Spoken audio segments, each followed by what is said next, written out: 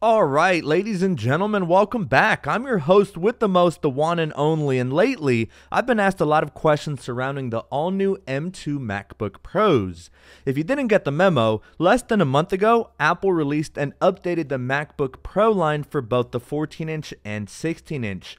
It was essentially a spec bump style upgrade with mostly everything remaining the same, other than the chipset, and many users will inevitably wonder if they should upgrade or not. Well, we're going to answer that question and more with some discrete benchmarks and some real world testing to see if there is actually a noticeable difference between the M1 Pro equipped MacBook Pro 14 inch, man, that's a mouthful, and the brand new M2 Pro equipped 14 inch MacBook Pro. Before we begin, if you're in the market for buying a brand new MacBook Pro, I'll drop my social media handles later on in the video where you can tweet at me or shoot me a DM with help on configuring your specific MacBook so that it's tailored to your lifestyle and workload and so that you don't end up overpaying for something you simply don't need. Anyway, that's enough with the introductions. Let's roll that intro and get things started.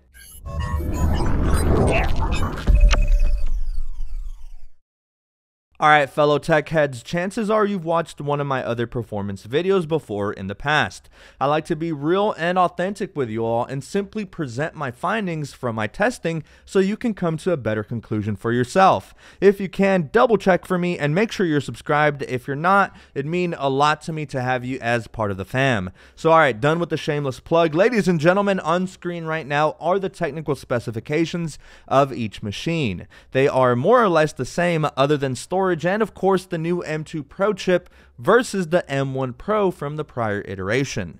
So first off, let's switch things up with a test I honestly forgot about while testing the new Mac Minis. But this test is called Speedometer 2.0. It's a test that analyzes typical performance when using web-based sites or applications. Think about Google Drive or those websites that constantly have new ads popping up here and there. Typically, the more RAM you have means you can open more tabs while not compromising performance, but realistically, most people don't open more than 10 plus plus tabs at a time, and if you happen to do that, seek help. So anyway, MacBooks and macOS in general always provide a reliable web surfing experience, but in terms of speedometer, the new M2 Pro will provide more consistent and fluid performance while web surfing, coming in with a score of 411 versus 373 from the prior M1 Pro MacBook.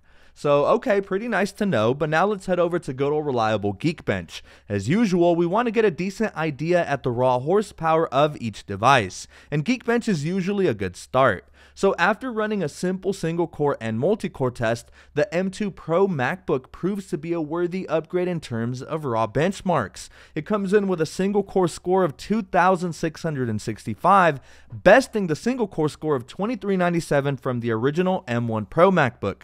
On multi, the differences are actually quite surprising. They score pretty much the same within the margin of error of each other, with both models scoring in the low 12,000s.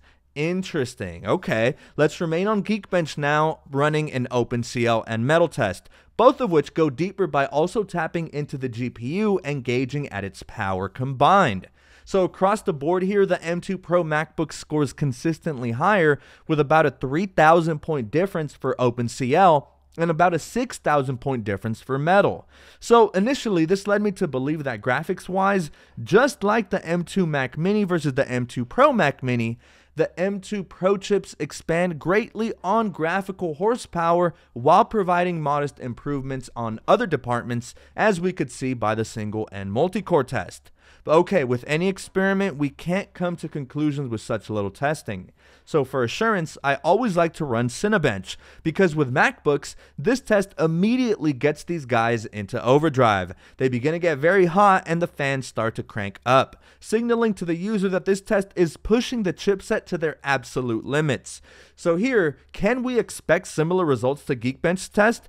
Well, kind of. As you can see, on single core, the difference is only a little over 100 points, while the multi-core scores between the two isn't that large either, with less than a 100 point disparity. So, based off these two tests, one can assume that most tasks your ordinary Apple shopper will perform will run nearly identical on both devices, with maybe a slightly noticeable difference here and there. I'm talking about the users that only use MacBooks for Microsoft Word, maybe YouTube, maybe the occasional PowerPoint, stuff like that. It's only when you start to utilize your MacBook for more graphically intensive tasks that you should potentially consider the Pro or even Max variants of Apple Silicon. So anyway, we do need more testing. So now again, to shake things up slightly, we crank up a Unigine benchmarking app. But it's not Heaven, this is called Valley. It's a similar test to Unigine's Heaven test, but has more game-like scenes and mimics varying environments you would maybe encounter while playing your typical computer game. What I like about this test is it clearly indicates what the minimum and maximum FPS were throughout the test. Because you know, some scenes are a little more intensive than others, but as you can see, we see some pretty modest improvements across the board, with the max FPS being 173 versus 115 on the prior M1 Pro chip. That's not bad. Okay, staying with graphics and tests that simulate intensive scenes, let's head over to the GFX Metal test, only this time. We're going to run the offloaded test versus the non-offloaded tests. This is so that the GPU can run at its maximum potential without being constrained by a max refresh rate if having to display the testing on screen. It just makes the true potential of either device more apparent. I know on the screen right now you see the test running, but it was just for B-roll. It was offloaded during actual testing, I promise. And just as expected, the results satisfy my suspicion that the M2 Pro is more of a graphics leap forward since most of the scores come well above 10% better on average pretty interesting stuff. So, in essence, gaming and tasks that require a GPU overload can be expected to perform smoother with less drop frames over time on average again. Okay, now for our final graphics test, we now pull up Blender version 3.4.0, which runs three offloaded simulated scenes and then spits out the samples per minute of each scene.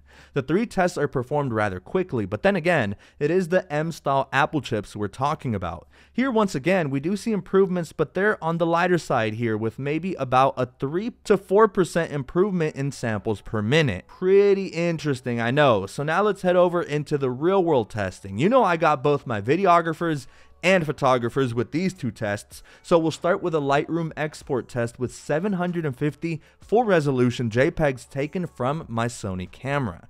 We copy the same settings and paste them to all and then export them to see how long it takes to do so and whether or not there's a worthwhile difference between the two. But sadly, the answer is more like the latter. The results here only show an 11 second improvement. I don't know if I'm that convinced. That's maybe a 5% improvement roughly, hardly enough to justify upgrading if you already have an existing M1 Pro equipped MacBook. So what about for videographers? Well, as usual, I perform identical edits, but this time with a slightly larger project coming in at about 12 minutes with a few more edits. This is usually the length of most of my projects for YouTube, so feels accurate at least for my workload. Here, once again, only a few seconds faster with the M1 Pro equipped MacBook exporting the 12 minute project in 6 minutes and 56 seconds, while the newer M2 Pro equipped version exported the same clip using using the same exact compressor settings in 6 minutes and 38 seconds. Again, roughly around a 5% improvement. I mean, I personally wouldn't, especially if I'm only going to see an average of 5% improvement on time. It's simply not worth it, IMO. But okay, before we wrap up, I did want to discuss SSD speeds because it's not looking pretty for the M2 Pro MacBook. So, okay, it's long been known that Apple discriminates against poor people who choose to get the base model storage because everyone knows MacBooks are by no means cheap. So, look, check this out. The M1 Pro MacBook here has a 1TB SSD, while the M2 Pro one has only 512 gigabytes. But you'd think something with the Pro moniker would lead to top of the line parts, right? Well, I don't know what's going on here, but the M1 Pro's disk speeds are significantly faster. The read speeds hover around 2900 megs a second for the M2 Pro, but 5200 on the M1 Pro. For write speeds, it's the same story. We see roughly 28 megabytes a second on the M2 Pro and a whopping 5800 megabytes a second on the 1TB M1 Pro. I really don't know if the 1 terabyte, 2 terabyte, and 4 terabyte options are simply using better parts, effectively making the cheaper storage options more cost effective for Apple, but kind of messed up if this is actually the case. I'm not saying Apple is doing this, but based off this testing, the M2 Pro 512GB model specifically will lead to drastically lower transfer speeds. This is why I always recommend upgrading to at least 1 terabyte since that's usually the sweet spot for most professionals or users who utilize their MacBooks for school, work, or for hobby and for those that plan to have a MacBook for five, six, maybe seven years into the future. But all right, guys, that's about it. What are your thoughts? Clearly, I'm gonna always keep it real with you guys. And if you are coming from an M1 Pro model looking to upgrade, don't. Look, if you like burning money and have a fat bank account, by all means run it, bro fam. But trust me, the performance gains are negligible. The more modest improvements come from the GPU related tasks. So, unless you absolutely need that additional graphical horsepower, which is probably not the majority of people, then there is no need to upgrade, in my humble opinion. Obviously, if you're looking to jump into your first ever Mac, then my goodness, this is a very easy recommend. Apple Silicon is literally years ahead of the competition.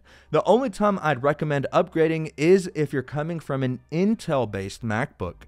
Trust when I say this, it's night and day.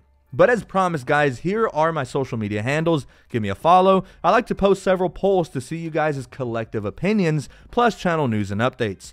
Tweet at me or DM me if you need some recommendations on which MacBook model is right for you. But yeah, guys, that's been it. I'm excited to hear what you all think about the differences in games between the M1 Pro chip and the M2 Pro down below. Clocking out for now. Remember to drink some water if you haven't already, and I can't wait to catch you all in my next video.